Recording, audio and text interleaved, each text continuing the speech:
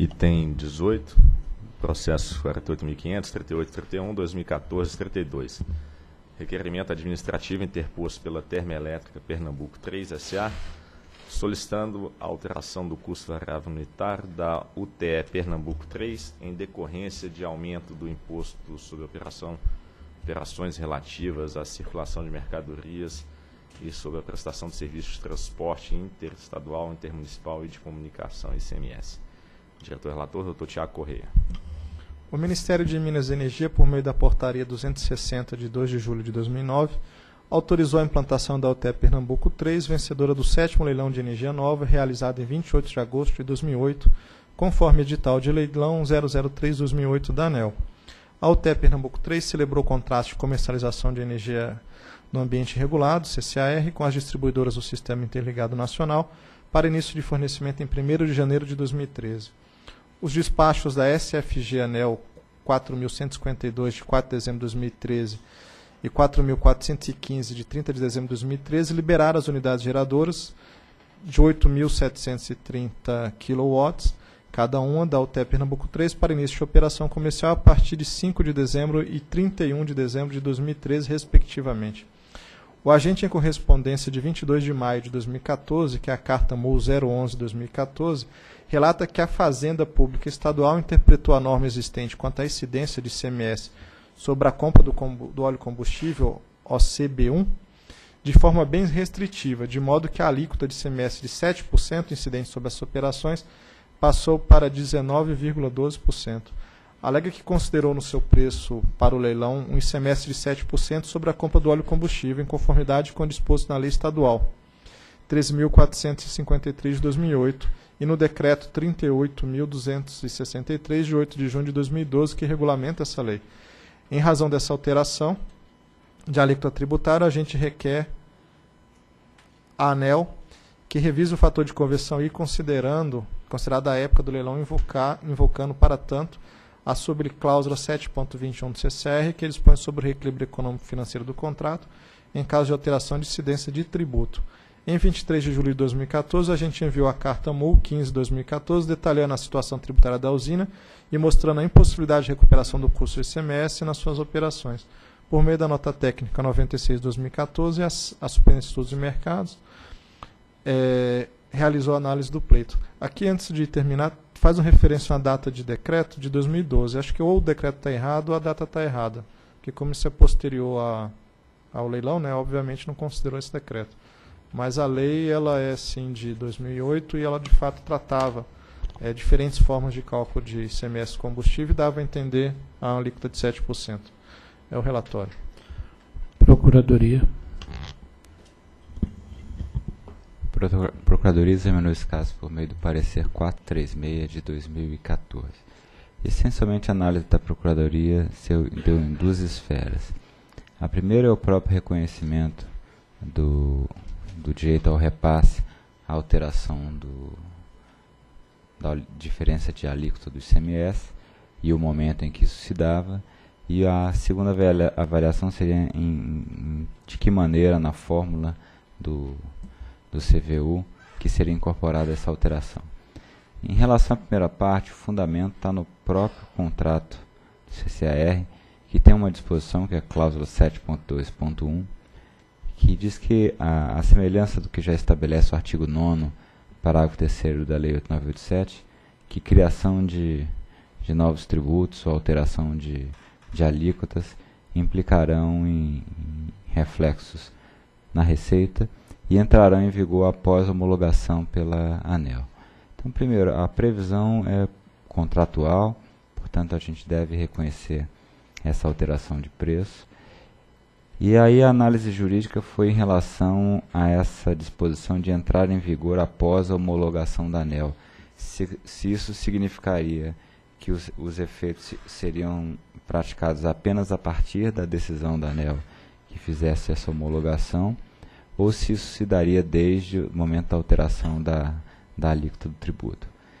É, a nossa avaliação é que, sendo um, uma questão calcada em um dispositivo contratual expresso, que por sua vez também tem fundamento em dispositivo legal, essa a, a, essa, essa alteração ela tem reflexos a, a partir da homologação pela ANEL, mas desde considerando os efeitos pretéritos também, desde a alteração da, da alíquota.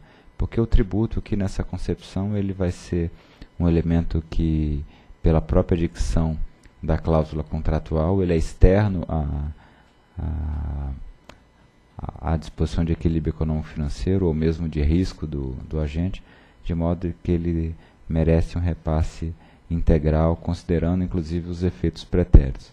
Dessa maneira, o que essa cláusula quer dizer, diferente de outras manifestações nossas, como de benefícios, é, ou, como por exemplo benefícios de desconto na, na ou outra natureza de benefício, que tem uma natureza constitutiva, ou seja, a partir da nossa decisão, aqui por própria decisão, é, disposição contratual, o efeito é desde a alteração da, da alíquota do contrato.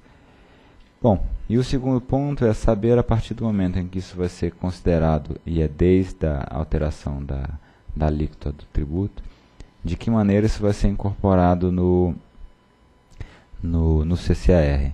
E o CCAR tem aqui uma fórmula, mas essencialmente essa fórmula, que é uma tradução também do que estava na portaria 42 de de, de 2007, ela tem aqui a variação do, do preço de combustível e tem um fator aqui de, de conversão, que é o fator I, que é colocado aqui como um fator imutável. Mas na medida que nessa fórmula o, o custo dos tributos por diferença acaba recaindo dentro do, do fator de conversão, a nossa avaliação é que mesmo é, em se tratando de algo que a portaria e o contrato se tratam de imutável, ele é imutável quanto a outros é, elementos que são gerenciáveis pelo agente.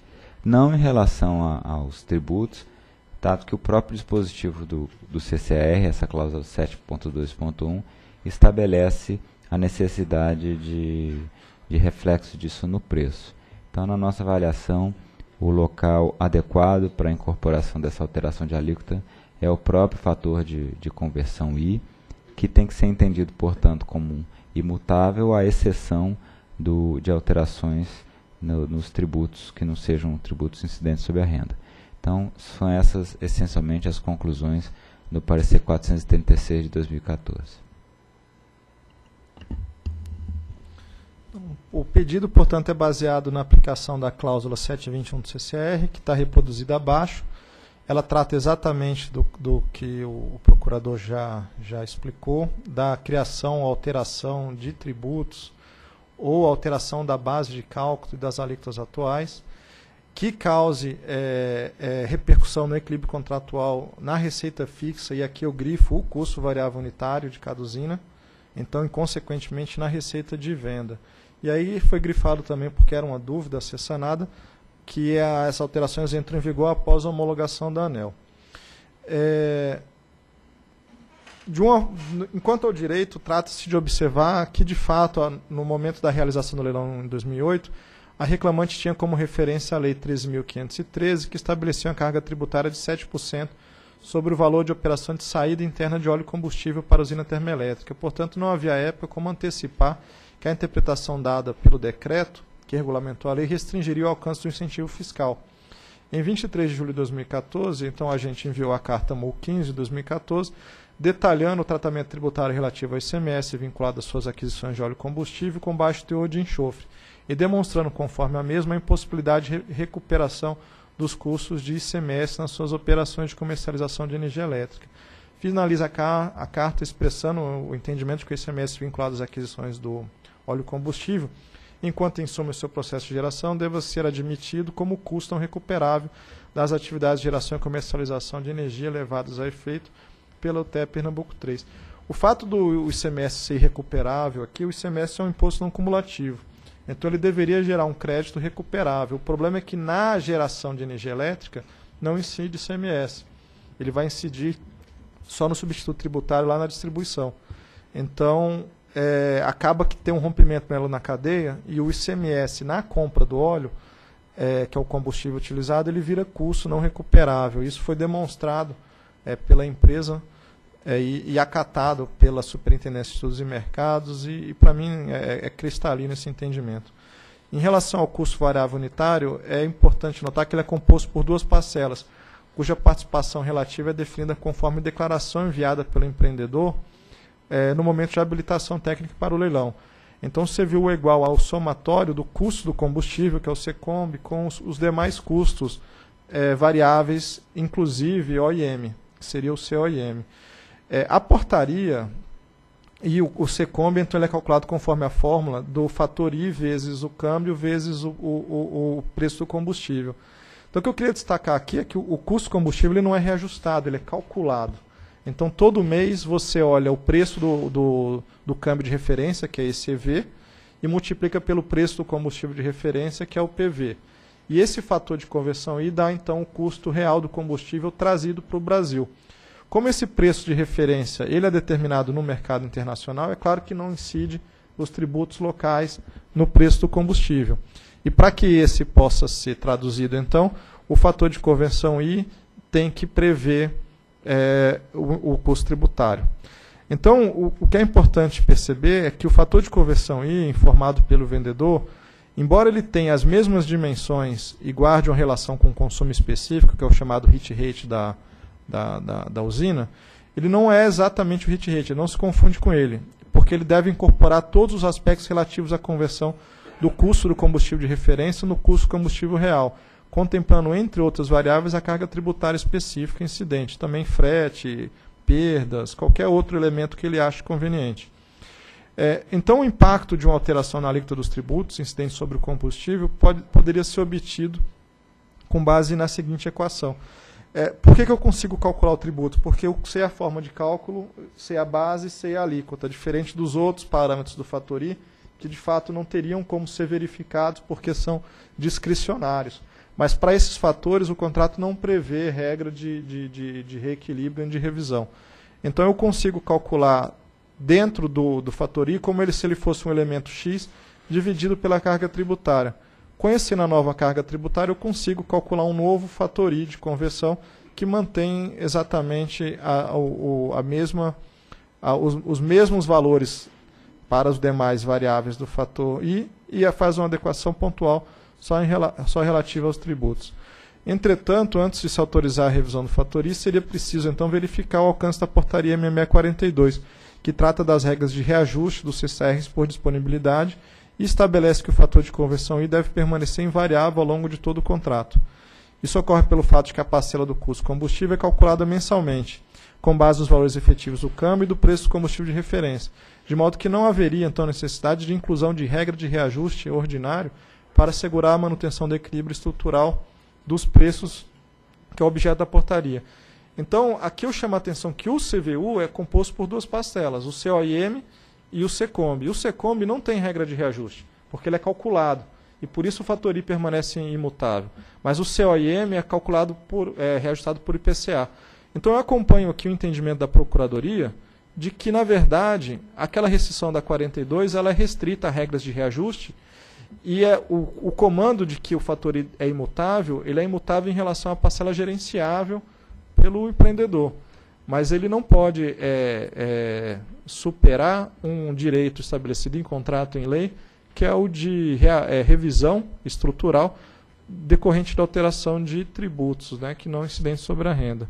Assim, a razão para o fator I não variar ao longo do tempo decorre justamente do fato de que ele representa a constante que assegura o equilíbrio estrutural e temporal do preço do combustível na composição do CVU, de modo que, no meu entendimento, tal estabilidade pode ser flexibilizada para a inclusão de alterações tributárias, em observância ao texto expresso da subcláusula 721 do CCAR.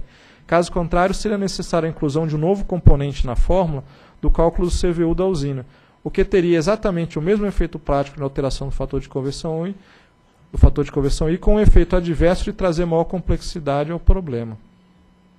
Por meio da carta MU 016 de, de, de, de setembro de 2014, o agente então apresenta os cálculos do custo variável unitário causados pela ação do imposto. Então temos a memória de cálculo dos tributos é, com e sem a, a, a, alteração da alíquota e temos um efeito incremental de 16,92%. Então, de acordo com os valores apresentados pelo agente, o impacto na, na alíquota seria de 19,12% de ICMS sobre o custo de geração, que daria então impacto somado de 16,92%, quando comparado à situação vigente do ICMS de 7%. Isso porque incide também junto, sobre a mesma base de cálculo, o PIS e o COFINS. Verifique-se igualmente que a equação é, proposta acima para o cálculo do fatori ajustado é, conduz exatamente ao mesmo resultado, demonstrando a, a adequação do método. Ressalto que o valor obtido é um pouco superior aos 14,99 calculados inicialmente pelo agente, que no primeiro pleito não considerou o efeito cumulativo entre as alíquotas de PIS, COFINS e ICMS. E também é um pouco superior ao obtido pela SEM na análise do pleito, que calculou em 16,39. Por que, que ela fez esse cálculo de 16,39? Ela chegou no mesmo valor de 16,92 mas ela aplicou sobre o CVU total e não só sobre a parcela de COIM, é, do SECOMB, desculpe. E aí, por conta disso, tem uma, uma, uma regra de três que você reduz um pouco o peso, dado a, a, o, o, peso relativo de cada um dos componentes do CVU. É, tal abordagem, no entanto, é, não me parece que asseguraria a neutralidade dos preços ao longo do tempo, dado que as variações de câmbio, combustível de referência e IPCA alterariam o peso relativo entre os componentes do CVU, SECOM e SOIM.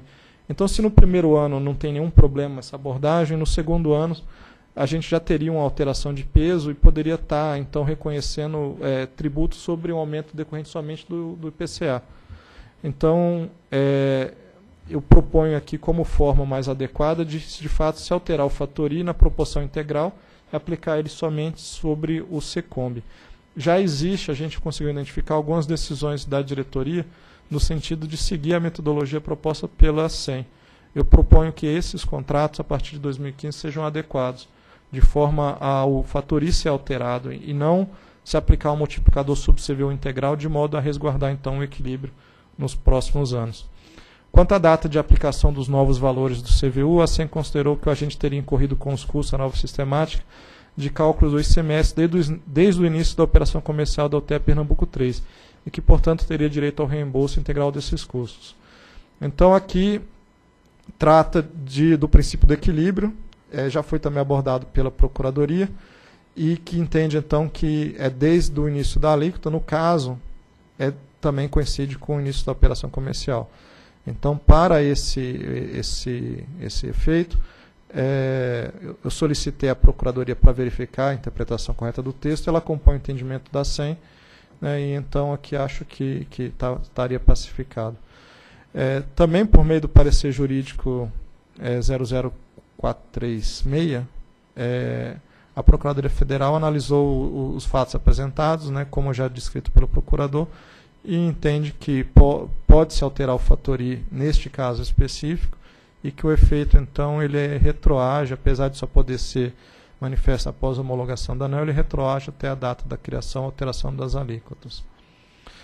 É, considerando ainda que há possibilidade de criação alteração de alíquotas de regime de arrecadação, ou base de cálculo de tributos em cargos setoriais, ou contribuições para fiscais, com repercussão no equilíbrio CCRs em favor dos consumidores que não tenham sido reportadas pelos geradores ou, ou reivindicadas pelas distribuidoras, julgo conveniente determinar, e aqui eu, eu, aí eu não sei se é de fato a Superintendência de Fiscalização Econômica e Financeira ou a própria SEM, mas que verifique a existência de tais ocorrências a partir deste momento e que a partir desse momento passe a realizar um procedimento de verificação com periodicidade anual.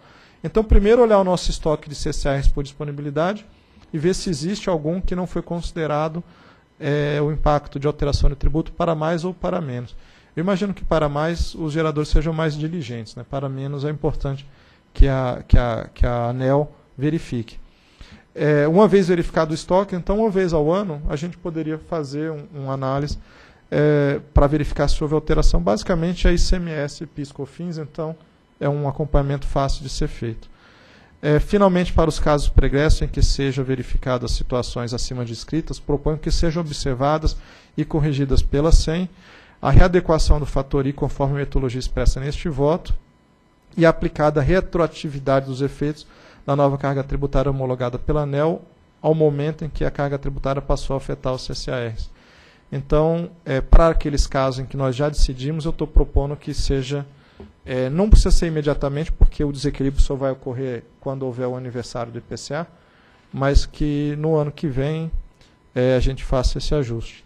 Então, diante do exposto do que consta no processo 48.500.003831, 2014-32, voto por homologar o impacto de 16,92 sobre o valor da parcela vinculada ao custo do combustível SECOMB do custo variável unitário CVU da UTE Pernambuco 3 em razão de alteração da incidência de tributo estadual sobre o custo do combustível e, portanto, adequar o fator de conversão I, obtendo-se o I ajustado igual ao I original multiplicado por 1 mais 16,92%. Determinar o aditamento dos contratos de comercialização de energia no ambiente regulado, CCR, firmados entre a Termoelétrica Pernambuco 3 e as distribuidoras para adequação do fator de conversão I em função do impacto tributário homologado. Retroagir os efeitos da nova carga tributária homologada pela ANEL ao momento em que essa nova carga tributária passou a afetar os CCRs firmados pela requerente.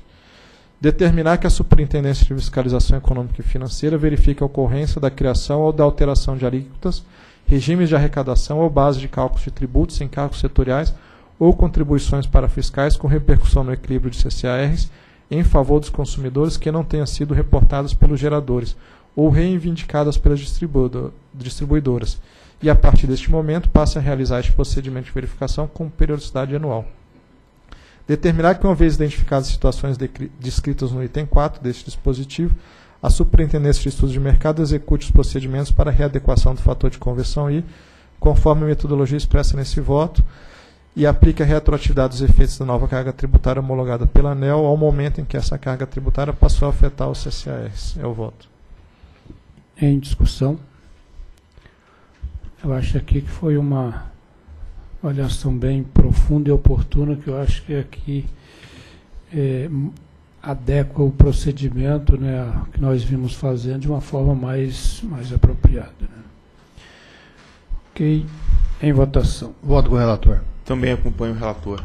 Também voto com o relator. Proclamo, então, que a diretoria decidiu por homologar o impacto de 16,92% sobre o valor da parcela vinculada ao custo de combustível, C, do custo variável unitário, CVU, da UTE Pernambuco 3, em razão de alteração da incidência do tributo estadual sobre o custo com combustível, portanto, adequar o fator de conversão e demais condições aí que acabou de ser relatada pelo Dr. Tiago. Próximo item.